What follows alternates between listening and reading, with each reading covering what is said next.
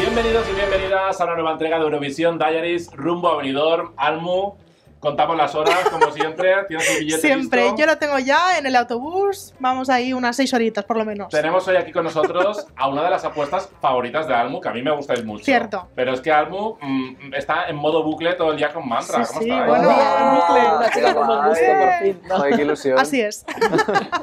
¿Qué tal? ¿Cómo estáis? Muy bien, muy súper. contentos. Felices porque en todos los sitios nos dicen que somos el favorito de alguien. O el otro día que sí, del público internacional, que no teníamos ni idea. Hicimos una entrevista como en inglés y nos dijeron, no, sois los favoritos, entre otros. de-". tal, no sé cuál. Y yo, ah, Qué pues fuerte. no sabía. ¿Cómo estáis viviendo esta andadura previa al Benidorm Fest, el feedback de la gente, eurodramas?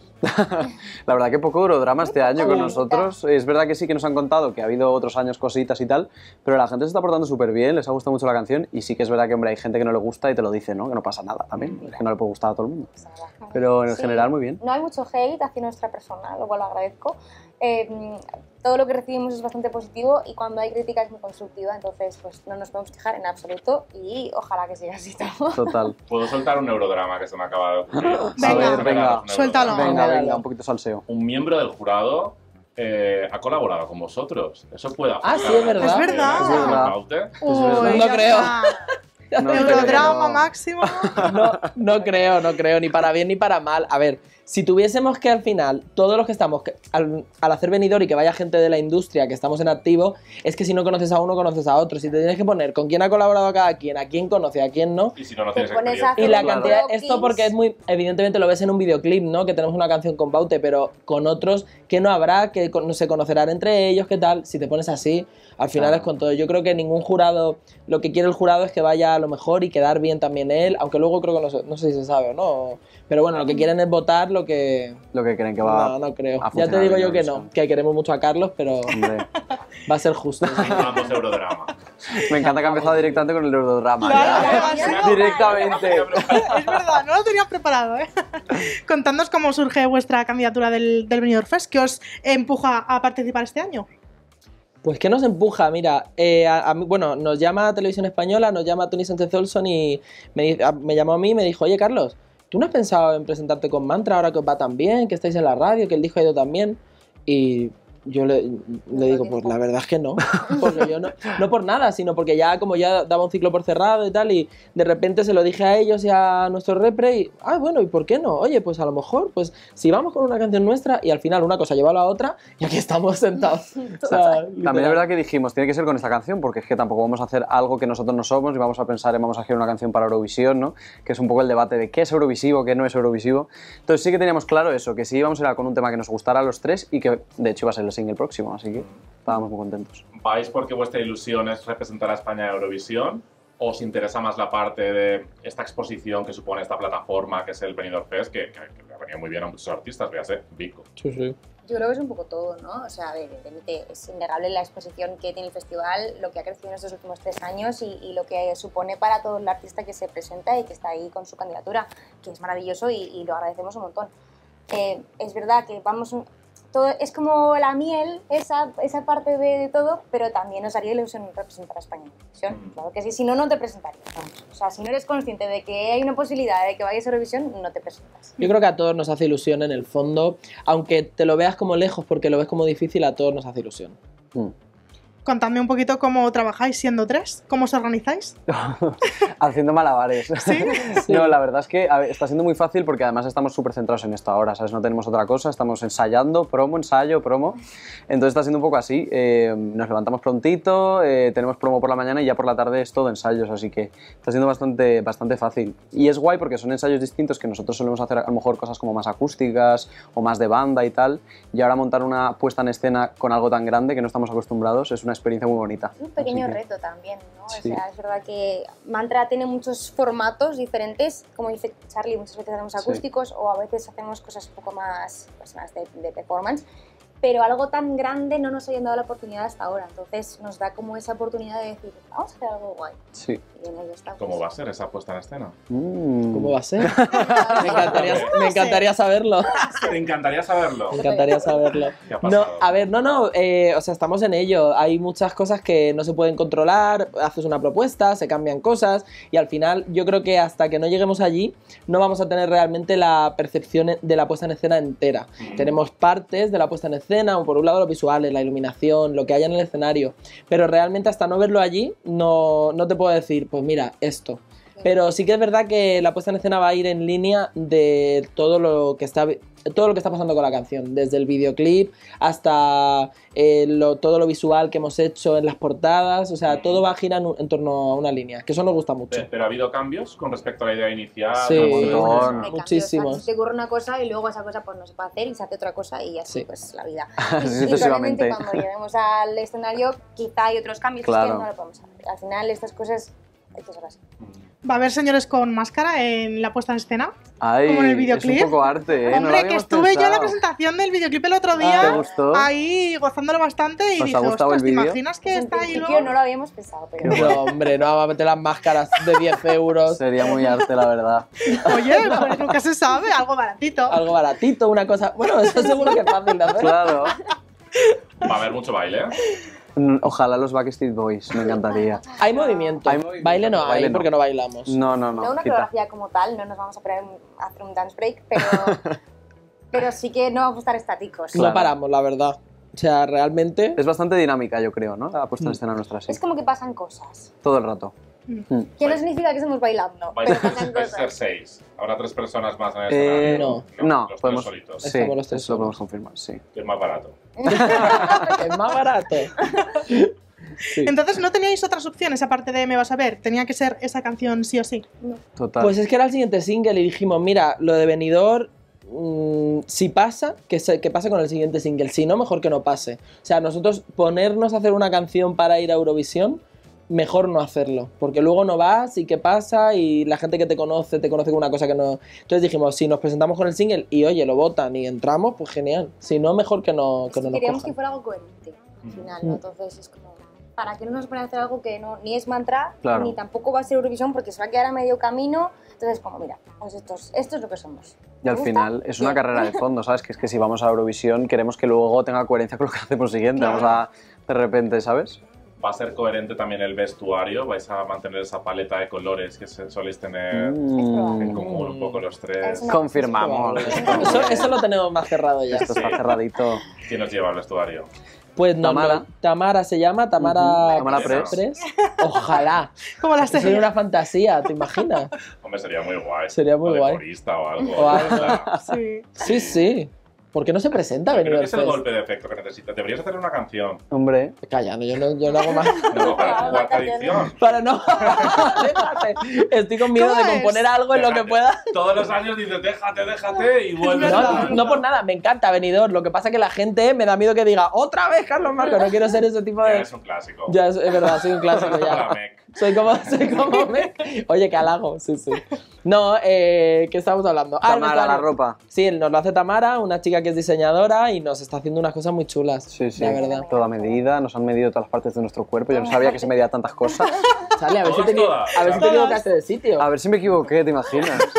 No, no, no, pero También muy fuerte. cubrirlo, ¿no? Claro. sí, sí. Sí, Claro, ¿o no? es parte del cuerpo. Hombre, no sé si la normativa de la ya, web eso es verdad, eso es verdad. Tenéis varias opciones si llegáis a la final de otro vestuario, por ejemplo, como hizo Chanel, que de repente trajo otro mono distinto. Solo existe uno. Sorpresa. Queremos dejar un poco el, sa- el hype. Que la nos lleven a la final y entonces lo Calla, que luego se te va la... Sí, sí, sí. haciendo preguntas. Vosotros responded lo que queráis. Venga. Eh, ¿Va a haber algún tipo de edit de cara a lo que hemos escuchado en Spotify con respecto a la puesta en escena? No, eso va a ser igual. Eso sí Igual, va a ser tal cual. que Sí. La canción es la que es y es lo que vamos a ¿Pero os lo habéis Sí. planteado? ¿Os habéis planteado Sí. algún pequeño cambio? Algo, pero al final... Es que por o sea, tiempo. no- Sí que es verdad que como... eh, o sea, cuando nos cogieron, nos cogieron con, como todos, con la maqueta, que de hecho se filtró, una maquetucha Sí. feísima. Y luego el pro- Sí. el primero de todos. produjimos otra vez la canción y al producirla de nuevo, eh, es verdad que añadimos algún elemento que queríamos en la puesta en escena. Y eso se quedó en la canción final. Todo el puente, los violines, todo eso que a lo mejor nosotros no hemos usado mucha cuerda, tipo No. violines en nuestras canciones, y ahí nos pareció guay y se quedó. Podíamos haberlo no, pero eran cambios tan sutiles que... Mm. ¿Qué tiene vuestra canción para triunfar en, en Eurovisión si llega a ir? No lo sé. Es ¿Por que creo no que no hay una. Es lo que decimos siempre, ¿no? Que no hay una fórmula ni hay una receta para hacer la canción de Eurovisión. Ni... Yo creo que es un cúmulo de cosas. Creo que hay que defenderlo bien en el escenario, sobre todo, ¿sabes? Porque un poco lo que le pasó a Chanel, ¿no? Que al principio, como que la canción no llamó tanto la atención, pero luego llegó allí y la gente alucinó. Pues ojalá que también le pase eso a la gente con nosotros, que aparte de que les esté gustando, pues que luego alucinen con la puesta en escena. Y yo creo que eso es un poco la, la receta, darlo todo, entrenar mucho, estamos yendo al gimnasio todos los días, estamos comiendo sano eh, y todo lo que podemos hacer para que el día de venidor pues estemos lo más en forma posible para darlo todo. Pero todo esto lo habéis seguido también durante las Navidades o no? A ver, ha habido un parón de una semana, yo lo reconozco. Una semana antes del venidor feto, pues ir al gimnasio. Yo reconozco que ha habido un parón de una semana, por mi parte por lo menos. A ver, Charlie, te has puesto lo del gimnasio y lo de la No es verdad, llevo desde noviembre. Puesto fino esta Navidad. Me pues, Charlie. llevo desde noviembre eh, un bastante a full. también. Bastante a full. Me ha pillado las navidades, pues que yo es algo que no puedo evitar. No, pero a ver. No comer turrón. Nosotros tenemos mucho ensayo vocalmente, tenemos vocal coaching, de hecho damos clases habitualmente, o sea, no es que hayamos cogido ahora y ¡ay, venidor! fe-". No, nosotros ya tenemos giras y tenemos cosas, entonces siempre estamos intentamos estar en forma. Mm. Eso es lo que menos nos preocupa. Yo creo que la receta a lo mejor que tiene me vas a ver las canciones a tempo, a mí me da la sensación que es lo que la gente espera un poco en Europa, espera un poco de, de España. No sé si una canción a tempo medio flamenca, medio tal o medio cliché, a lo mejor eso no, pero no sé qué hubiese pasado a lo mejor si hubiese ido noche entera. Blanca lo hizo impresionante, Mm. pero a lo mejor noche entera de posición hubiese quedado más alto, no lo sé. Creo que el lenguaje de las canciones movidas es un lenguaje, y como la nuestra, divertida, es un lenguaje que lo entiende todo el mundo. Entonces ahí, aunque no sepas español, está Está divertida, está graciosa. Está bien graciosa. Yo creo que, que no sí, paramos con no el sé, algún, algún ingrediente que nos pueda caracterizar un poco más, yo creo que es que damos muy buen rollo, creo. Sí. Pues lo que intentamos. Entonces, ¿Pero es al real? final- no, por supuesto. ¿Te imaginas? ¿Te imaginas? Y Paula, ¿y tú cómo has afrontado esta etapa previa al venidor? Porque estabas eh, vendada, la pobre, en todas las ruedas de prensa, te veíamos con el brazo. Jodida, pero bien. Joder, es que... Qué No, fuerte, me- qué mala suerte. Me rompí la muñeca. Ya. O sea, fue anunciar lo del venidor y la semana siguiente me la rompí. ¿Cómo fue? Estúpido, tonto. Sí. es, eh, normal. O sea, me caí para atrás y de esto de que apoyas mal la mano y todo el peso Sí. del cuerpo se me puso encima. Entonces, Ay. hizo claca, Ya. luego eso se recolocó y nada, pues lo típico, mm, escayola y cabestrillo y aguantarte como puedas. Y eso estuve pues un mes con el cabestrillo. Madre Y mía. ya estamos fenomenal, gracias a Dios, para el venidor ready. Pero Es la pasa muy sí. mal, ¿eh? Lo que Sí. pasa es que es una súper profesional y una tía muy fuerte. Es que pero hemos la estado pasa muy viajando, mal, ¿eh? hemos estado de Y, bolos. y no nos hemos dado cuenta porque como te la ves normal, Claro. en el aeropuerto tiras para adelante y no ves que está ella, que no puede coger la maleta porque va manca. El otro día es que de repente nos damos cuenta de dónde está Paula y la Y pobre estaba todavía con la maleta Sí. rastra. Y la señora de no seguridad, no, no. No, porque te la ves tan esto, pero... No, porque al final, o sea, como que no quería. Creo que gran parte de todo eso es mental, ¿no? Entonces, no me quería yo mentalizar, eh, estoy mal, estoy dolorida o estoy tal. O sea, quería mantener como la estabilidad de decir, vale, pues tengo un brazo menos, pero voy a seguir con todo lo que tenemos que hacer porque no me puedo permitir parar. O sea, si paro Mm. ahora, es que no, no remonto. Entonces, iba un poco con esa mentalidad de, venga, venga, venga, venga, venga. Y luego al final, ya pues cuando ya me quedaba una semana, me dio más bajón, pero, pero ya estoy perfectamente, mira. Qué bien, qué bien. Menos mal, menos mal. Ya lo comentábamos antes, Carlos, que es tu tercera edición consecutiva del Benidorm Fest. Eres el único concursante que ha estado en. Bueno, en pero no, concursante no. Has Claro. concursado en las tres. No, pero, por ejemplo, compositor. Jonathan, bueno, Jonathan ha estado en dos, claro. Jonathan de Meller, porque es Ah, es compositor de la nuestra. Sí, Pero sí. es verdad, pero el año pasado estuvo por partida doble, así que Sí. estaba en tres. Es también. verdad, estuvo por partida doble. Ha tenido tres canciones bueno, lo como te yo. quería preguntar, eh, ¿qué has aprendido de los eurodramas, de las eurocomedias, de las conversaciones con Boomerang, con TV, con todo, que vayas a aplicar ahora a vuestra candidatura? Algo que te haya ayudado a, mira, esto no lo vamos a hacer, que puede salir mal. Eh, sobre todo, desde el principio, eh, una de las cosas que era primordial era que la actuación fuese una actuación para televisión. Y entonces el equipo que tenemos, que son Carlos Pardeiro y Carlos Rodríguez, eh, y bueno, también Isaac a las luces, eh, a las luces, perdón, a los visuales, es un equipo que hace televisión. Pardeiro es director de programas, Carlos Rodríguez director artístico de programas, y eso es una- un aprendizaje que he tenido, porque luego te pones a hacer algo muy teatral y a lo mejor no funciona tanto, la gente en casa no lo entiende, a lo mejor allí hay una muy buena energía, pero luego en, en casa la gente no lo vota o no porque no, no se Eso pasó transmite. con, con Eco, con Flamenco. Creo que, bueno, con Eco creo que fue el primero. Y yo creo que también a lo mejor se planteó una puesta en escena que no se pudo hacer. También tiendes a pensar como a lo grande, pero tan grande a lo mejor no se puede. Y tienes que ser realista. Y aún así siendo realista, también hay que aún bajar Rebajar más- un poquito rebajar más. un pelín, sí, Hay sí, que sí. irse a lo peor para sorprenderse. Efectivamente, no. Eh, yo creo que el aprendizaje es así, sobre todo que hasta no llegar allí no hay nada decidido. No se sabe qué va a ser, cómo va a ser la puesta en escena, cómo va a ser la energía, quién es el favorito o no, porque puede cambiar todo. El fa- gran favorito de llega allí, a lo mejor, por lo que sea, no, no llega la energía. Va a haber un corista detrás del escenario, como con. En principio no. No, En no, principio no, no, no. no. Pero bueno, no, se sabe. Nos han grabado ya los coros, de hecho, pero no, no. Sí, hemos grabado lo- los coros este año. ¿Cómo crees que ha evolucionado el Benidorm Fest desde esa primera edición hasta esta tercera? ¿Cómo ha evolucionado el Benidorm Fest? Sobre todo yo creo que ha evolucionado a nivel marca. O sea, a nivel lo que es Benidorm en sí, creo que más o menos, al- eh, excepto por los cambios de escenarios, etcétera, es lo mismo, pero a nivel marca creo que ha evolucionado mucho. Hay mucho medio de comunicación y mucha gente que como que vas a Benidorm Fest y te lo valora mucho. Eso es importante porque al principio, el primer año yo me acuerdo que cuando me cogieron la canción y como que había gente que me decía, uff, te vas a meter ahí. Y era como, no, no, que de verdad que te digo que lo, que lo estoy viendo yo, que creo que va a ir muy bien. De hecho, acerté los datos de ser de, de la- prácticamente de las tres galas. Madre mía. Carlos el oráculo del ser. Yo dije, de verdad. Todas las que esto- audiencias en que esto va a ir así, que esto va- que no, que no. Y, y ha ido muy bien. Y eso a nivel marca y a nivel lo que es venidor, comunicación para los artistas, es increíble. ¿Y qué ser eh, pronosticas para este año? No te lo voy a decir. ¿Mejor Espero- o peor? Espero que buen ser. Eh, mejor o peor. decir, Creo que igual. Igual que la segunda. Sí. Creo que igual. Sí. Víctor, estás siendo realista. Sí. ¿Cómo van esos salseitos, ese grupo de WhatsApp con el resto de concursantes, hoy con Meg? parda. Hoy salía algo. ¿Sí? Os salido par de verdad. ¿Qué ha pasado? Ay, ha sido tan divertido. ¿Se puede Madre mía, contar? se No, puede. no se puede. Bueno, lo de Carlos ayer, No por la noche que lo he leído esta mañana, ha pasado todos los suplementos alimenticios Ah, sí, claro. que tenemos por el grupo por si a alguien de repente le interesa. Porque estaban diciendo. ¿Pero que tenéis una teletienda o algo? No, porque estaba Alberto de Mis Cafeína diciendo, no tenéis miedo a poneros malos. Y entonces mandé una foto. A ver, De todas sus. yo me tomo cerca de, De 300 pastillas. entre 15 y 20 pastillas al día de suplementos Pero alimenticios. aunque no estés enfermo ni No, no para enfermo. no ponerse Para enfermo. no ponerte enfermo. Sí, todo recetado, ¿eh? Bueno, Bueno. son suplementos que no tienen receta, Claro. pero que yo tengo un médico, ¿qué tal? Madre mía. Y, y entonces Y lo pasé por el grupo, dije, si alguien quiere algo, pues en la habitación de Carlos Marcos. vitamina C, todo, todo, todo. Todo. Parece el narco, ¿no? De- Un poco. Soy el Narcofest. ¿Algo que nos recomiendes? ¿Qué os recomiende? Sí, alguna vitamina. Yo la quinacea. Eso es lo que me mantiene a mí sin ponerme malo.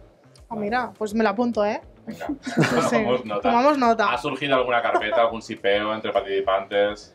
Que yo sepa, ¿no? Que yo sepa tampoco, la verdad. momento. De momento. participantes de diferentes ediciones, sí, ha Bueno. salido. Ah, sí. Algo ha salido. Sí, salido Ay, es de verdad, ha salido algo, sí. Yo he visto Pues yo no me he enterado. Un amor de verano. Ah, Quizá, eh, durante una noche entera pues salí en pues. bien. bueno. Ala, lo acabo de pillar, pero no lo sabía. Paula metiéndonos en fregados de Yo tampoco 1999. tenía ni ya, está idea, muy bien Es- traído. está, Paula. está fuera, está publicado eso. Lo dijo No, Socialité, no o sea que-. Socialité, no, según Paula. Ah, bueno, si, si es socialité de referente. Ahí hay, hay cosas, hay vídeos por ahí. No. No sé, pero-. Ojalá, la verdad, que haya un poquito de salseo, ¿no? Nos encantaría. ¿Estáis abiertos Sí. al amor durante la semana del Benidorm Fest? Es que esto Pues yo lo parece digo más. todo el rato. Ah, no, durante la semana del Benidorm Fest. No, no. la Durante no. Sí, hombre, con el A la que que acabemos, hay. sí, hombre. Yo Pero no. durante la semana No, no. además está todo el mundo No, diciendo, no, no, no, don no. Pancho, don Pancho. Y digo, no me digas nada, don Pancho, no quiero saber Ni nada. don salir, Pancho. ni beber, ni amores, ni nada. Piensa que vamos a estar ¿Nada? allí y te vamos a ver si luego ocurre. Nos vas a ver, no- desde luego nos vas a ver. Nos vas a ver en la habitación, en el Sí, ensayo Vas a ver, eh, y en el gimnasio. Entonces me dices que te proponga quien te proponga algo va a ser un no. Que no. Yo Bueno, tengo mis dudas. Sí, pues no. ¿cuál es vuestro quizás? Bueno, no nos vamos a mojar No, no, todavía, por de favor. ¿eh? no, Eso sí que será ¿Tenéis ya. algún crash entre los compañeros? Por mi parte, no. No. Yo creo que tampoco. ¿No? Crash como tal. no. Es que además ten en cuenta que muchos éramos ya amigos, ¿eh? Claro. O sea, es que la mayoría nos conocemos. O sea, ¿Y que de hay muy buen rollo. canción? ¿Algún crash de alguna que...? Ah, bueno, yo sí que tengo un crash. ¿Tienes un crash? Sí. Sí, nada, no a ¿Tu crash? Hombre, dilo. Hombre, Carlos. Ahí lo dejo. Hombre, dilo. Ah, Que ¿tú tienes no. un crash? Yo lo sé. Claro. Pero Pero es tú te callas. ¿Participante oficial? No, no, era, de- puede ser de cualquier Benidorm Fest. De cualquier Benidorm Ah, amigo. Ay, no Fest. sé. ¿Lo sabes, Almu? Ah, Yo sí. Dilo, dilo. No lo voy a decir, no lo voy a decir. Di las iniciales. No, nada, nada. Sorpresa. Lo que pasa en el Don Pancho. Por favor, ojalá contarlo. Algo ha visto Almu. Almu, Almu está que se ha Que no, que no, que no, que es broma. Que yo no voy a decir nada. Vamos. Vale, vale. Bueno, eh, ¿qué nivel de Eurofans tenéis? De- Carlos, ¿Nuestro? qué bueno. sí. Hombre, a nosotros nos Ah, encanta sí. Eurovisión. Yo me junto todos los años para verlo con mi familia, con mis amigos. Pues que lo hemos mamado desde pequeñitos, o sea que nos encanta. Pues- Que luego vernos allí sería un sueño, ¿eh? Y lo vemos lejano lo que Pues decimos, pero... Vamos con un clásico en este tipo de entrevistas, el Eurotest Ya, de venga. Fórmula TV. Venga. Empieza, Almo, todo tuyo. Venga, esta muchos no se la saben. Último representante español en ganar Eurovisión. Sí, eh, día. Sí, nos lo Hace preguntaron hace tiempo. poco. Ah, ¿es Salomé? Muy, Muy bien. bien. Bueno, punto, punto. ¿En serio? ¿A qué país representó Gisela? En Ah. 2008. Andorra. Muy bien. Muy Lo bien. sabía No, también. Madre Muy mía, bien. vuestro comodín, Sí, ¿eh? Todos es que lo yo no sabía- sabíamos. Yo no sabía, porque siempre te preguntaban hace años, ¿eres eurofan? Y yo decía, no, pero luego me he dado cuenta de que sí. Vamos a por la tercera. ¿En qué puesto quedó Blanca Paloma en Eurovisión? Uy, eso sí que no me acuerdo. Creo, Mal. creo que mal. Creo que como Ay, no penúltima, antepenúltima. Una 20 posición. 23, 23. 20 algo. Un poquito más alto. 21. 20. Un poco más. Mejor. Ah, bueno, 18. 19. Un poco Casi. más. 17. Eso Ah, es. bueno, pues no tan, no tan mal. No me acordaba yo. Podría ser A peor. ver, estamos acostumbrados a cosas peores. Por eso, claro, por eso. también. Sí. Eh, ¿Quiénes eran los coristas de Rosa en 2002? Ah, Ah. pues sus grandes compañeros. eh, Bisbal, Chenoa, Chenoa. Bustamante, Gisela. ¿Y ya? ¿O falta Una alguien? más. ¿O Natalia? No, no. no Natal, Natalia. no, Natalia no, porque tendría que ser los como los finalistas. Y Rosa. No, Rosa cantó, coño. Ahí me No tengo falta ni idea. uno. Pero Era un chico, era un chico. Hizo la vuelta un poco chica. mal. Hizo Ah. Alex. Eh, no, esta. Coño, que se fue la primera.